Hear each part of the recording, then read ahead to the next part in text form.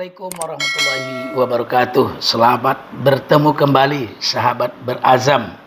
Pemilihan presiden tahun 2024 telah selesai menyusul putusan Mahkamah Konstitusi dan kemudian ditetapkannya Prabowo Subianto bersama Gibran Raka Buming Raka sebagai presiden dan wakil presiden Republik Indonesia periode 2024 sampai 2029. Dinamika Pilpres menjadi catatan sejarah bagi kita dan sekarang saya bersama kawan-kawan di Berazam akan kembali berkiprah dalam berita-berita yang teraktual di Provinsi Riau. Berazam adalah salah satu online yang tayang di Kota Pekanbaru berdiri sejak tahun 2017 merupakan keberlanjutan dari tabloid berita Azam yang selama 20 tahun eksis dalam berita-berita politik di tanah air. Saat ini kami akan menginformasikan tentang perkembangan terkini politik di pemilihan kepala daerah kabupaten dan kota dalam wilayah Provinsi Riau. Kalau Anda pergi ke Pekanbaru, maka saat ini sudah ramai bermunculan tokoh-tokoh politik, tokoh-tokoh masyarakat yang mensosialisasikan diri untuk menjadi bakal calon gubernur Provinsi Riau. Bakal calon gubernur ini. Belum ada beliho yang saya tengok bakal calon wakil gubernur itu belum ada. Kami memang mencatat beberapa nama yang sekarang sangat populer di tengah masyarakat. Bahkan di antara nama-nama itu sudah mengambil formulir sekaligus mendaftarkan diri menjadi bakal calon gubernur PDIP yang sudah membuka pendaftaran bakal calon diperkirakan akan menseleksi atau menyaring 5 sampai 6 figur yang sekarang sudah mengambil formulir bahkan ada yang sudah mengantarkan formulir itu. Di antara tokoh-tokoh yang sekarang sudah mengambil formulir dan ada yang sudah mengembalikan dan akan mengembalikan antara lain mantan Gubernur Riau Edi Natar Nastion ada juga Haji Muhammad Haris mantan Bupati dua periode Kabupaten Pelalawan sekaligus mantan ketua DPRD di Kabupaten Pelalawan itu. Aris ini termasuk dedengkot lah di Partai Golkar yang namanya di Provinsi Riau sudah tidak asing lagi. Juga sudah mengambil formulir di PDIP Abdul Wahid. Abdul Wahid ini sekarang sedang menjabat sebagai anggota DPR RI dan menjadi ketua Partai Kebangkitan Bangsa PKB. Dia adalah tokoh muda yang berasal di kawasan Riau pesisir, tepatnya di Kabupaten Indragiri Hilir. Baliho-balihonya cukup bertabur di jalan-jalan strategis dalam kota Pekanbaru ini. Juga ada nama yang sudah sangat tenar, Haji Anas Makmun kami di Riau ini memanggilnya Atuk. Usianya sudah cukup tua, tapi semangat untuk berjuang dalam politik tidak kalah dengan anak-anak muda. Beliau mantan gubernur Riau, juga mantan bupati Kabupaten Rokan Hilir. Di tangan Anas Makmun, negeri seribu kuah Rokan Hilir itu mengalami kemajuan pembangunan yang sangat pesat ya. Kalau melihat Atuk bertarung, mengingatkan kita kembali pada pertarungan politik tahun-tahun sebelumnya. Dia berhasil mengalahkan calon-calon kuat pada masa itu seperti Herman Abdullah, mantan wali kota Pekanbaru. Partai-partai lain sedang mempersiapkan diri untuk membuka pendaftaran bakal calon. Di Golkar itu paling tidak mencuat beberapa nama. Ada nama Haji Haris yang tadi kami sebut-sebut mendaftar di PDI Perjuangan ada nama Haji Muhammad Wardan Wardan ini figur yang cukup tenang pembawaannya low profile dan menjadi bupati di Kabupaten Indragiri Hilir selama dua periode sekarang ketua DPD Partai Golkar di Kabupaten Indragiri Hilir itu. Nah selain Haris, kemudian Wardan, sebenarnya ada satu nama lagi yang selalu menjadi perbincangan hangat di internal masyarakat, terutama di internal para wartawan. Dr. Andus Haji Samsuar, MSI, mantan gubernur Riau yang baru saja pada pemilihan legislatif kemarin mengantongi suara terbanyak terpilih sebagai anggota DPR RI Partai Golkar daerah pemilihan Riau 1 Selain nama-nama yang tadi kami sebutkan masih ada sebenarnya nama-nama lain yang cukup berminat dan balihonya sudah terpasang di dalam kota ini seperti nama Idris Laina.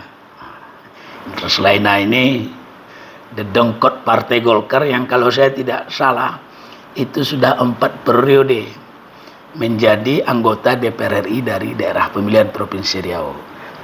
Pileg 2024 nasib tidak berpihak kepada Idris Laina. Suaranya tidak mencukupi, kalah dari kawan separtai Yulisman yang sekarang menjabat ketua DPRD Provinsi Riau. Nah nama lainnya juga muncul Haji Nazarudin. Nah ini agak unik ini. Haji Nazarudin ini tokoh muda di Golkar sekarang menjabat wakil bupati Kabupaten Pelalawan. Kalau kita lihat baliho-balihonya juga terpampang cukup besar di beberapa ruas jalan protokol. Nah, bagaimana dengan Partai Demokrat? Demokrat ini paling tidak itu ada dua kader yang sekarang sedang kuat bersosialisasi. Yang pertama adalah Haji Ahmad. Ahmad saat ini menjadi anggota DPR RI. Beliau pernah menjadi bupati Kabupaten Rokan Hulu selama dua periode. Nama Ahmad bertiup kencang bersama dengan kader Partai Demokrat lainnya, Haji Muhammad Nasir. Haji Muhammad Nasir ini sebenarnya bukan pendatang baru di Provinsi Riau. Dia politisi yang sekarang menjadi anggota DPR RI. Bagaimana dengan PKB? PKB, PKB ini setakat ini Riau itu sebenarnya punya dua kader potensial dari Partai Kebangkitan Bangsa. Yang pertama dulu ada namanya Insinyur Lukman Edi. Pernah menjadi anggota DPR RI, Kemudian pernah juga menjadi menteri di zaman pemerintahan Susilo Bambang Yudhoyono. Dan sekarang untuk urusan Pilgubri Lukman Edi tidak banyak. Terdengar lagi namanya. Tapi ada di bawah Luman Edi tokoh muda namanya Abdul Wahid. Yang sekarang menjadi ketua PKB Provinsi Riau dan sudah dua periode menjadi anggota DPR RI. Nah, Wahid akan muncul sebagai salah satu pembaru politik di tanah Melayu ini untuk calon gubernur Riau. Tapi benarkah Wahid berani mencalonkan diri sebagai gubernur Riau atau hanya menembak posisi wakil gubernur? Nanti akan kita lihat dalam perjalanan waktu. Nah, di samping PKB ada Partai Nasdem Nasdem juga memiliki kader-kader yang potensial untuk menjabat gubernur. Paling tidak ada dua nama yang kami catat. Yang pertama adalah Brigadir Jenderal Purnawirawan TNI Edi Natar. Di Natar Nastion ini sekarang kalau saya tidak salah dia menjadi ketua Dewan Pakar Partai Nasdem mantan wakil gubernur Riau dan kemudian menjadi pejabat gubernur Riau lalu kukuhkan menjadi gubernur definitif. Masa tugasnya sudah selesai. Nah, Edi Natar ini termasuk tokoh muda, bukan tokoh muda ya, tokoh yang energik, yang terkenal dengan gerakan subuh berjemaah setiap pagi semasa beliau menjadi wakil gubernur sampai menjadi gubernur bahkan sampai sekarang mempelopori gerakan subuh berjemaah. Jadi namanya cukup diminati karena ketegasannya, disiplinnya, keberaniannya di dalam mengambil tindakan-tindakan di tanah Melayu ini. Edi Natar bolehlah disebut tokoh yang sekarang berada di atas angin karena banyak ditopang oleh tokoh-tokoh daerah termasuk dari lintas etnis atau lintas suku. Nah, di samping Edi Natar ada figur lain dari Nasdem. Namanya Yopi Arianto. Nah, Yopi Arianto ini dulu adalah kader Partai Golkar yang dua periode menjabat sebagai Bupati Indragiri Hulu. Sekarang berkhidmat di Partai Nasdem. Dan akan berjuang juga bersama-sama dengan Edi Natar Nasution untuk mendapatkan rekomendasi dari Partai Nasdem. Nah, Bagaimana dengan PDIP? Nah, PDIP ini yang belum kita lihat siapa figur kader yang akan mencuat ke permukaan. PDIP ini pada pemilu 2024 kemarin itu berhasil tampil sebagai partai pemenang di Riau. Bahkan ketua DPRD Provinsi Riau yang sekarang dijabat oleh Golkar akan diambil alih oleh PDIP pada 2024 ini. Tidak hanya di DPRD provinsi, beberapa kabupaten kota pun PDIP cukup berhasil mendapatkan kursi ketua DPRD. Karena ia sukses memperoleh suara terbanyak di beberapa kabupaten kota. Nah, salah satu keberhasilan PDIP menang di Provinsi Riau ini itu tidak lepas dari kepemimpinan Haji Zukri Misran. Tokoh muda yang sekarang menjadi bupati di Kabupaten Pelalawan. Sekaligus ketua DPD Partai Demokrasi Indonesia Perjuangan. Apakah Zukri akan mencalonkan diri dari PDIP menjadi gubernur Riau? Ini yang belum dapat kami jawab. Tapi kabar angin yang beredar kuat kemauan politik Zukri lebih memilih untuk menjadi bupati periode kedua di Kabupaten Pelalawan dibandingkan untuk menjadi calon gubernur Riau. Di samping usianya masih muda, pun dia masih memiliki sisa jabatan satu periode lagi.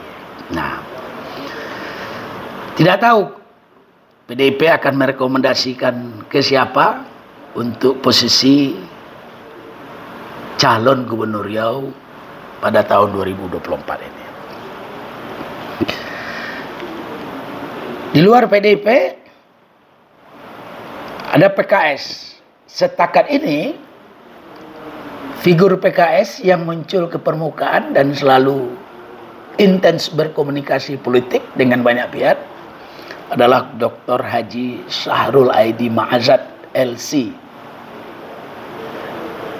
Beliau adalah anggota DPR RI yang kembali terpilih pada periode kedua setelah lama berkiprah di DPRD Kabupaten Kampar lalu sekarang di DPR RI. Nah, Sarul Aidi cukup intan berkomunikasi politik dengan beberapa tokoh bahkan di beberapa media sosial yang dia unggah sendiri terlihat Sahrul berkomunikasi politik dengan Samsuar, dengan Edi Natar Nasution dan dengan tokoh-tokoh lain. Tapi belum diketahui apakah Sarul akan mencalonkan diri sebagai gubernur Riau atau mengambil posisi sebagai wakil gubernur Riau.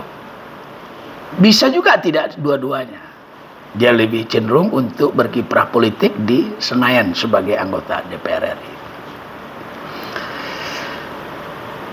Nah itulah beberapa nama yang sekarang muncul ke permukaan di tanah Melayu. Di luar itu sebenarnya ada nama-nama yang sudah santer disebut tapi balihonya belum muncul. Misalnya Dr. Firdaus STMT. Dia ini calon bukan calon ya, dia ini mantan wali kota Pekanbaru Dewa Prode yang cukup berhasil dan figurnya sangat visioner. Kita tunggu debut politik Sam Firdaus, apakah dia akan berlabuh ke Nasdem atau berlabuh ke PDIP, ini juga belum kita ketahui. Tapi namanya sudah santer. Nah, di samping Samsuar, ya Samsuar, di samping Firdaus, Nama lain yang cepat muncul tapi sekarang mulai agak tenggelam. Dr. Haji Samsurizal, MSI. Kami memanggilnya Pak Sam. Dia mantan Bupati Bengkalis dua periode, sekarang menjadi anggota DPR RI. Duduk sebagai wakil ketua Komisi 2. Nah, di awal-awal pileg dulu Pak Sam ini cukup gencar bersosialisasi menjadi bakal calon gubernur bahkan sempat diwacanakan akan berpasangan dengan Septina Primawati Rusli. Tapi belakangan namanya menghilang seiring dengan merosotnya perolehan kursi ketiga di di Provinsi Riau. Nah, sehingga semangatnya pun untuk bertarung ke politik ini seperti ke kehabisan vitamin. Mudah-mudahan Pak Sam kembali bangkit untuk muncul sebagai bakal calon gubernur Riau lagi. Nah masyarakat sekarang ini sedang menunggu nama SF Haryanto. Apakah ia akan ikut meramaikan bursa pencalonan gubernur atau tidak? SF Haryanto ini sekarang menjabat sebagai PJ Gubernur Riau. PJ Gubernur Riau. Ada yang menyebut Pak PJ ini juga sedang mempersiapkan diri sebagai calon gubernur.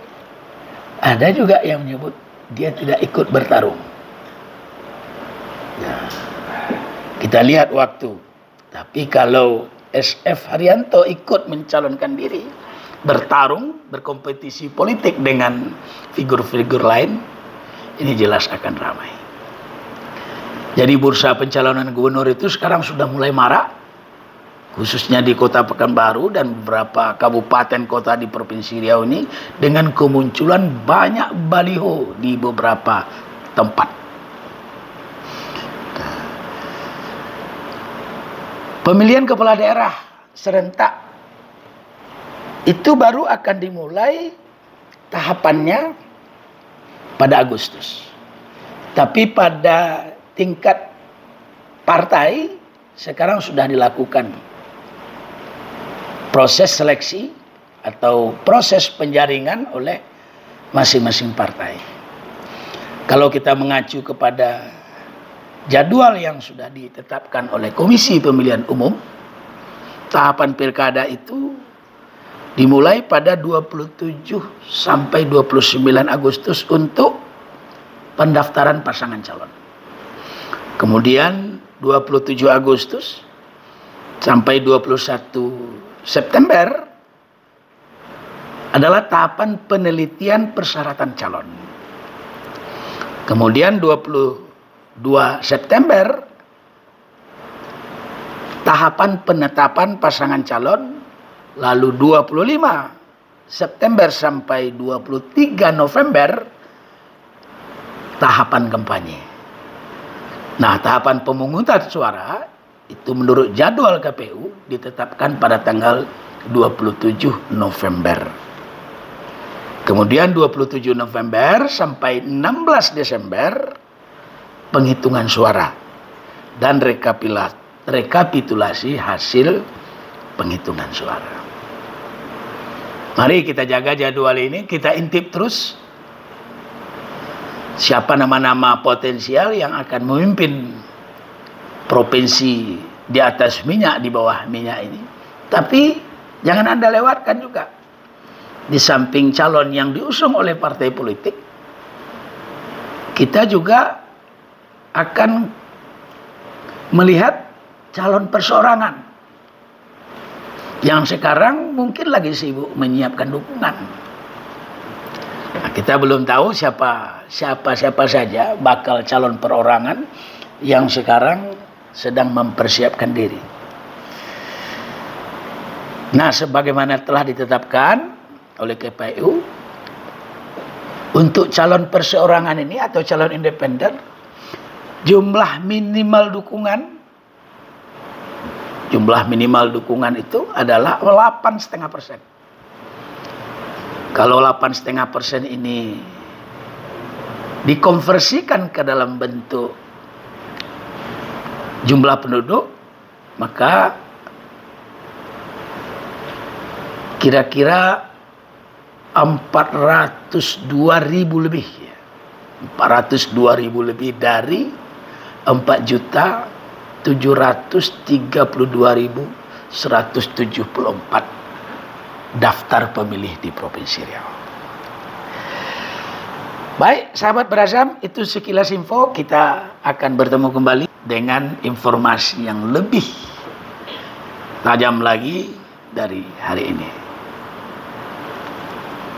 Terima kasih. Assalamualaikum warahmatullahi wabarakatuh.